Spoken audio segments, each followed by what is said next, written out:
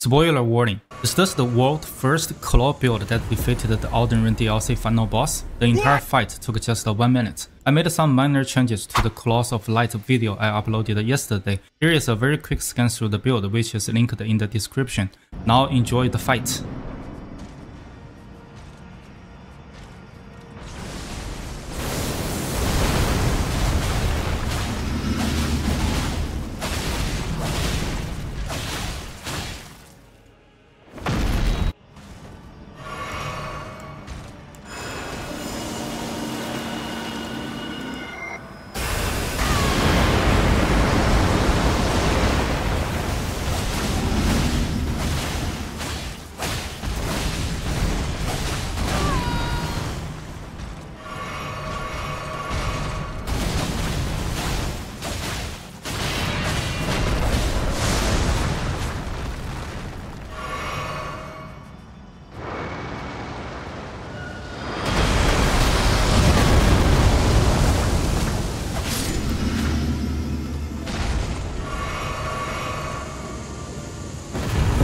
Here is the replay of the buff process before the fight in 2x speed. Let me know if you want me to publish another update video to the build. Thanks for watching.